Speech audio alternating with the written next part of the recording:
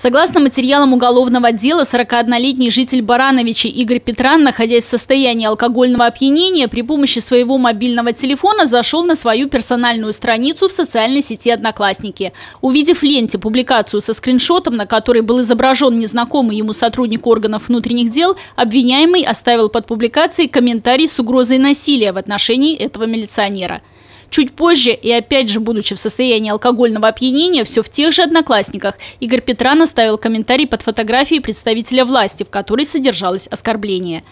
Естественно, что ни одно из этих правонарушений не ускользнуло от правосудия. Обвиняемый предстал перед судом. Настоящим, не виртуальным. И таким же, отнюдь не виртуальным, стал приговор. С учетом позиции государственного обвинителя представленных доказательств личности обвиняемого, наличия отягчающих обстоятельств, характера и степени общественной опасности совершенного преступления, суд Баранского района города Барановичи постановил в отношении Петра на обвинительный приговор.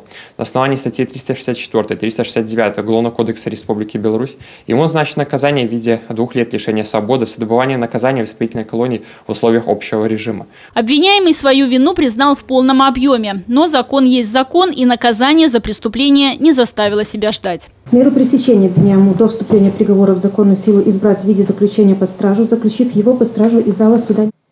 Родные с приговором не согласны, и их можно понять. Наверняка за время отбывания наказания обвиняемый не раз вспомнит слезы родных и задумается, стоило ли причинять им такое горе. Также решением суда обвиняемому назначено принудительное лечение от алкоголизма.